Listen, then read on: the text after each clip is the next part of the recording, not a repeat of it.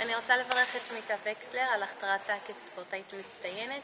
למיקה יש לה אישיות של ספורטאית, גם מצטיינת. היא ילדה שעובדת מאוד קשה.